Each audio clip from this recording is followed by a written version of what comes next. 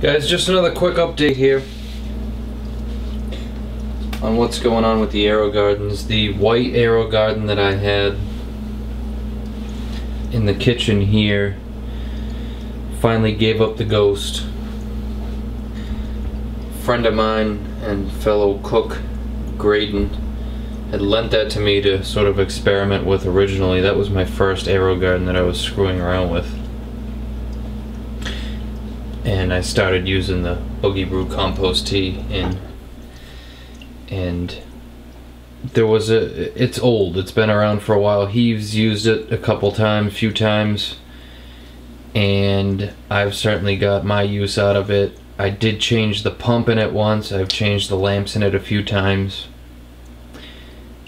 And it just got to the point where uh, a lot of the connections and such got corroded in the back and I didn't feel like spending any more money on it investment wise so I got the Aero Garden Ultra.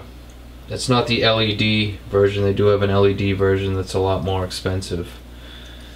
Um, this one just uses the compact fluorescence but same concept but there are a lot of new upgrades to it and I like it a lot better than the Aero Garden 7s I still do have the black one with the strawberries that I'll show you in a minute on the progress on that.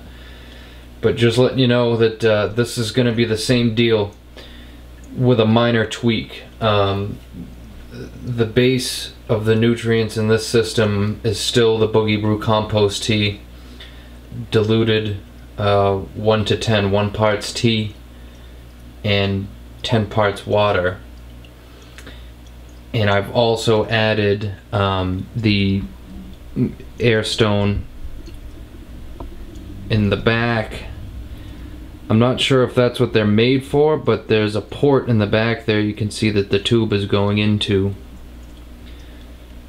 It's got, it comes with, um, you can't see that, it's in the way. But there's two rubber stoppers, rubber plugs in the back of the system that um, came that way, so I just took advantage of that, popped one out, slid the the um, the tube in there from the air pump. So I've got the airstone in there aerating everything. One thing I did notice is that um, you know you sort of build up a little bit of sludge in there from it being all organic and aerated with all the microbes and everything feeding in there. So I do, I have started to empty the reservoir once a week and put fresh tea and water in there once every week. And once of the minor adjustments that I've made is that I do now add, I noticed on the strawberries that the, the leaves were getting a little bit yellow. So I'm not sure if it was just because, you know, the tea itself didn't have all of the nutrients for a system like this. Obviously it's a fantastic supplement and regimen to use in your outdoor garden. This is just an experiment, but I don't believe that the tea has quite all the nutrients to uh, sustain the plants. So I just um, started using these Roots Organic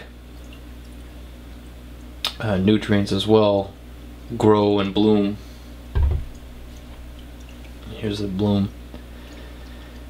And I don't use anywhere near the recommended dosage of this stuff because, like I said, the main baseline of my system here is still the Boogie Brew tea.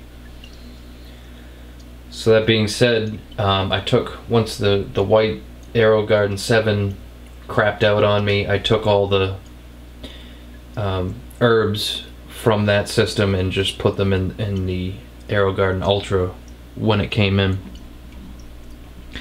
So it's just your standard um, kitchen herbs here. Some parsley, sage, thyme, basil, and a couple late starters that I threw in there are the um,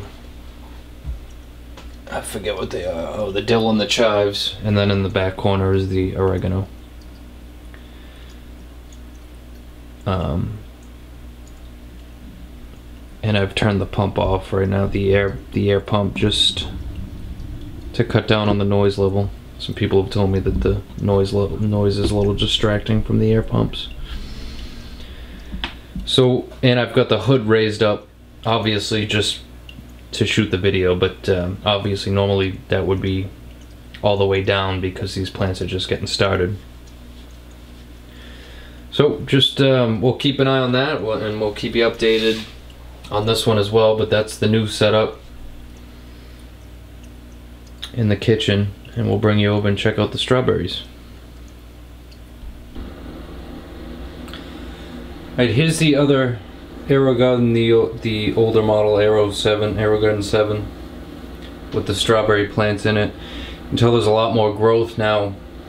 Um, and it's the same mix that I've been using with the new one, the um, mainly the Boogie Brew compost tea, uh, and a dash of the Roots Organic Grow fertilizer just to green things up. And uh, again, same thing. I, I empty the reservoir once a week and put fresh water and fresh compost tea in there just to keep the system clean. Since everything is organic there's no chemicals and everything to kill everything off which is not what I want so. But um, you know you can tell things are looking pretty good in here